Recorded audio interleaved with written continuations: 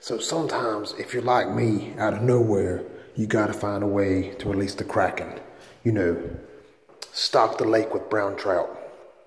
And if you're in Mountain View, the library, that's where it's at.